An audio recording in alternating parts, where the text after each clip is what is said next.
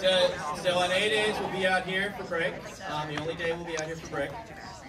So those are the new um, general seating in here. Is seniors are up there. Um, ninth and eleventh graders and eighth graders are over here, and tenth graders are right right um, below the seniors. So um, try to get into those areas when we're out here for A day. Um, so I wanted to, to start first by introducing those that will um, always um, be here for break and leading break, and that is your president and vice president, Maddie and Nico. Come on up, Maddie.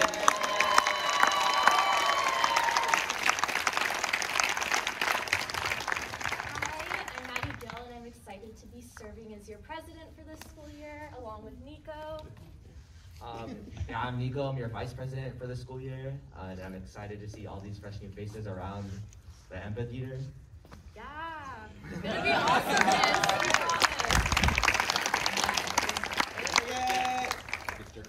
Mr. Come on up? So along the lines of introductions, um, for those of you who are new to campus, um, these are your California desert tortoises, um, Fred and Rosie Well. Um, are, are two California desert tortoises that were given to the school as gifts um, 25 years ago. Um, they were hatchlings. They were about this big. Uh, and so you can see that um, they're pretty good size. And they reside in um, an enclosure right in the front of Day Hall uh, over near Mr. Johnson's end of the building. Um, and uh, they are out um, first thing in the morning. Um, we interrupted their breakfast this morning. They were eating. Uh, and they just kind of hang out all day. So you are welcome to go over there, check them out, watch their activity. Um, they're kind of soothing. So um, if you're having a stressful day, you can watch them enjoying life, which is what everybody should be doing. Um, there are just a couple of rules that I need you to be mindful of. Um, rule number one is that the pen is their home, their enclosure. And so, just like you would expect no one to just walk into your home uninvited, um, the same is true of their home. So, we're going to ask you to stay out of their enclosure to watch them from the um, walkways. Um, the second rule is that um, they do have a very specific diet. Um, although they might enjoy your peanut butter sandwich or your Skittles, um, it's not really very good for them. So we're going to ask you to to not share your food with them. But if you get there early enough, you'll be able to see them eat. Um, they were named uh, when they first came to campus by the daughter of one of the um, one of the faculty, the science faculty. Um, and I don't actually know where their names came from, but Fred and Rosie. Um, actually, it turns out at about age 10, were um, identified by the veterinarian as both males. Uh, and so um, we sometimes refer to them as the Freds because Rosie, although I guess that can be a generic name, um, sounds more like a girl's name. So some some people will refer to them as Fred and Rosie, and some people will refer to them as the Freds. But you can see that they're very mobile, they're very active. Um, they will probably live, the veterinarian said, to be about um, somewhere between 150 and 200 years, um, long after I'm gone.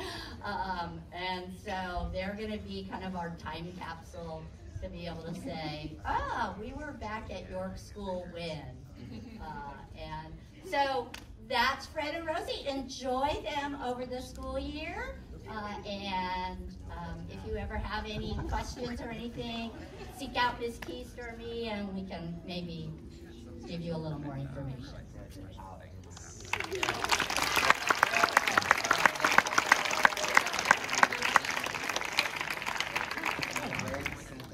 Yes, he likes it. Yes.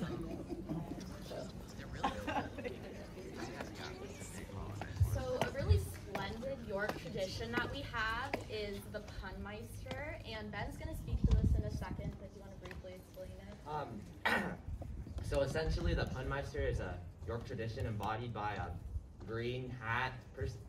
and this hat has been passed down for generations for people to make puns. Most of them make us groan.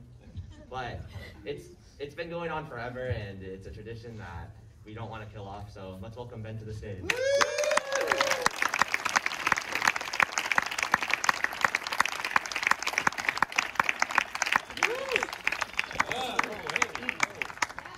Hi.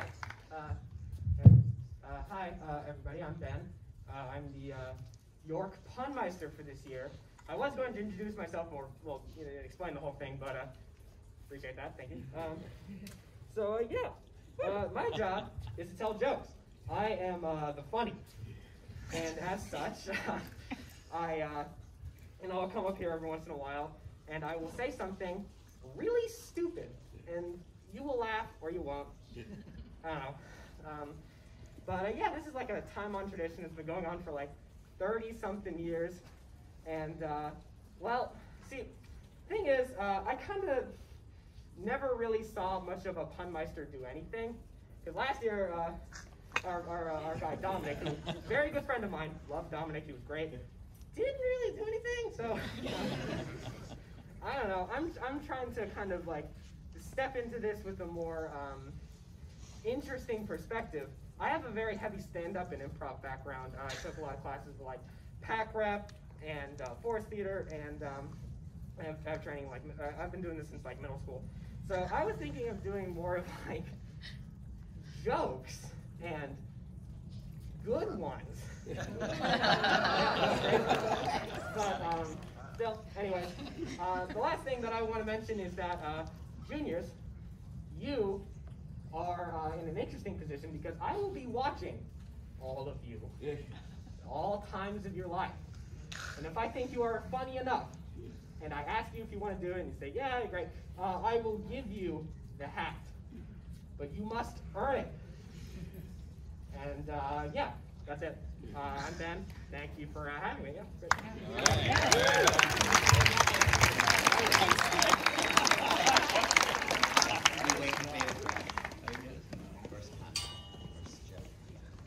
Thank you, Ben. Ben coming, Punmeister coming to a break near you soon. One of the other traditions that, that I started um, last year was a minute to win it. Um, so I thought that we would start the year with another minute to win it. Um, and ahead of school day is a day break, so um, so we're going to do that today. Um, and I thought the best way to integrate new new faculty and staff into the school is to make them compete. You know. Yeah, yeah. All right. So as you know, um, we always do this representing a particular grade. Um, so I will introduce our contestants. So, Ms. Gretchen Thompson, who will be representing the eighth grade, come on up. All right.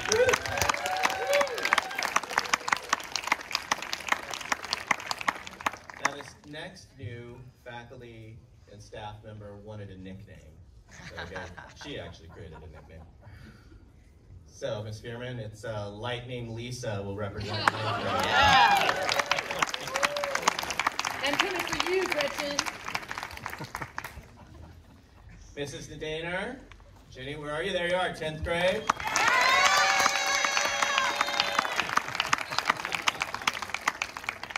One of the two Dans, Dan Gersko will represent 11th grade. Danny Cruz. Miss Ciarni, where are you, Liz? Right there, 12th grade. All right, so what you're going to want to do, I'm going to show you in a minute. We're going to show you on the screen what your goal is. All right? Okay, so let's do that really quickly. So watch the screen. It'll be on both screens.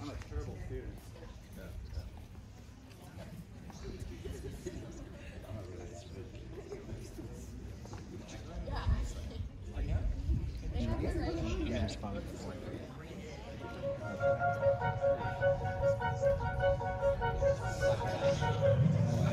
it up.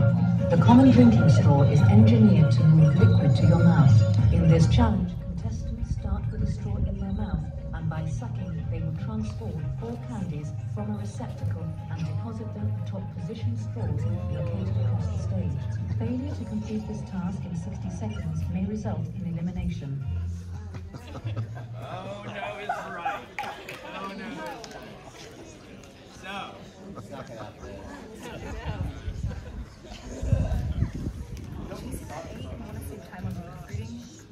Who's the money on? Go lightning! Alright, so right here, right here.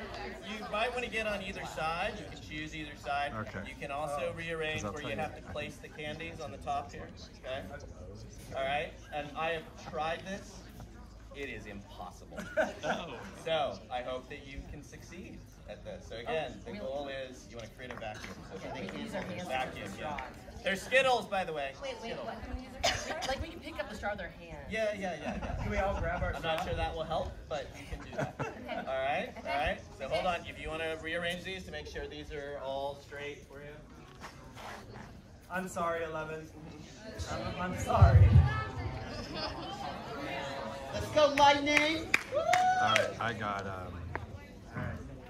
I don't think it's gonna matter. got Jenny. Come on, people. Bring your, bring your competitive spirit. Positive attitude. All right. No, I've got Liz. All right, fabulous job. Lisa, sorry. Yeah. Go.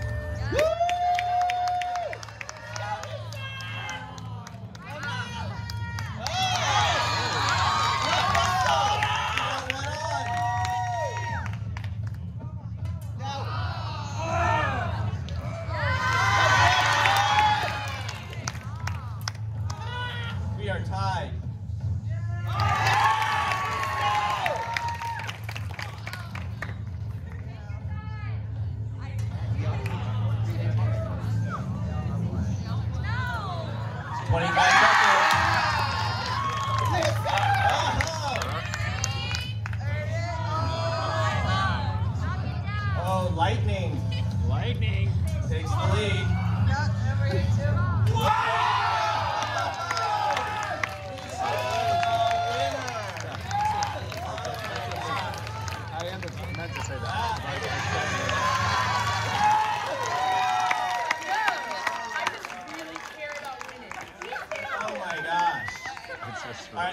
Lisa, stay up here for your, for your prizes. That was impressive. After I tried it this morning, I thought there's no way. There a punishment for There, there is not. Sorry. Do uh, uh, uh, I get a prize? You, you'd like a few words? I do want to share with the community that I think collaboration and cooperation are important values for any school, any community, and learning. However, however, I just crushed this. We also like competition. So you get several prizes. You get all the Skittles. Yeah. Came in second. You though. can have You can have some of the Skittles. Yeah, but I got the Skittle on first. You get a, you get a car magnet. Yeah! All right, now if you want to give this to Liz and you feel sorry for her, I don't. But if you, if you feel sorry for her, so this is what the Play-Doh came in. So there was Play-Doh. So you have little sea creature um, imprints for the Play-Doh. So, so there you go. There you go. There you go. There you go. All right.